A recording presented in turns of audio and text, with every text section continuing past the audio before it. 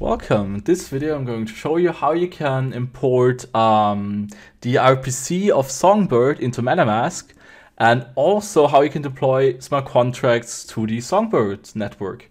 So let's get started. So the first thing you have to do is you have to import the RPC. So we click on MetaMask. I would also recommend creating a new tab for that because if you don't, um, whenever you click on it, it's the selection is gone. So I'm just gonna I'm just gonna um, create a new tab here. So this one here. And I'm probably gonna, yeah, I'm gonna do it that way here, okay? And now we have to, uh, to copy all the information here. So I already uh, added Songbird there, so I'm gonna remove it again. So I'm gonna remove it, I'm gonna change network and remove Songbird here. Oh. So, and now we have to add the RPC and you can do that if you scroll down there and go to custom RPC. Then you have to add the network name, which is uh, which is in this case Songbird. Um, then you have to add your RPC URL. You just copy that part there. And now hopefully it's still there. Yes, it's still there. Then we can copy the RPC, then the chain ID, which is 19, I think. Yeah, so one more time, we add the ID here and the currency symbol, which is SGB. And then you just copy the block explorer as well. So again, that one here and copy that. And then go to save. Afterwards, you can connect. Uh, now we already connected here. So now I'm going to just, now I can click on Songbird in selection here. So I already have Songbird on this account here, but you can now send Songbird to this address here. So there's the account address, you copy that and you can send Songbird to that. So right now I've got 0.113 Songbird on that account. And now we can use MetaMask with all the tools and also with uh, Remix. And we Remixer prepared a simple smart contract, which is not very, which can't really do much. So we can see here, it's just a simple storage code example. So it can save a text and we are going to deploy the smart contract.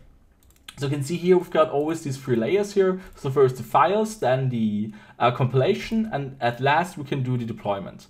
And I've got here the file, so just uh, go to compile, and afterwards I go to deploy. And we can see here that the contract is a simple storage contract. And now we have to click on injected Web3. If we do that, if we do that, then um, then we can then, oh, then we can uh, select the address. We can see here that I've got here 0.11 uh, Songbird, which is here uh, written as Ether, but it's Songbird, it's fine. And then you can just click on deploy. Right now, a transaction is being prepared. And if you click here on Songbird, we can see here that it would charge me 0.07 Songbird as fee for deploying the smart contract. And I click on confirm. And afterwards, you can see that, so the transaction was confirmed. And I've got here my smart contract, so I can get it. So right now it does the, the text doesn't contain anything. I can, for example, add here hello hello from XRP DEV.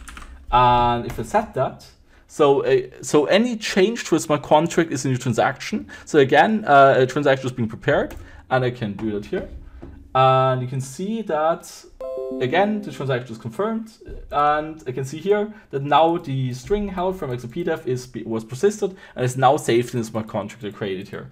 So any of you can, could also change the smart contract since I did not add any checks for for the access and I didn't save the owner. Um, but yeah, that's how all of it basically works. And now we can also look at the transactions in the Explorer. So I'm just going to copy the smart contract address and go to the Explorer. So player uh, Songbird Explorer. That's down here. So if we just add that here, uh, we can see that if I go to the smart contract and copy the address again and just paste it here, we can see here my smart contract I just created here. So you can see here that uh, the internal transactions, we can see this one here. And we can also see that uh, yeah, so we can see the contract creation and also contract call. So I deployed smart contract and it sets a variable. So it sets uh, the name to hello from XRP And if I click on this transaction here, we can see that, uh, that something was changed. And so this is the raw input in this case. Can we see it more plain? Uh, we cannot.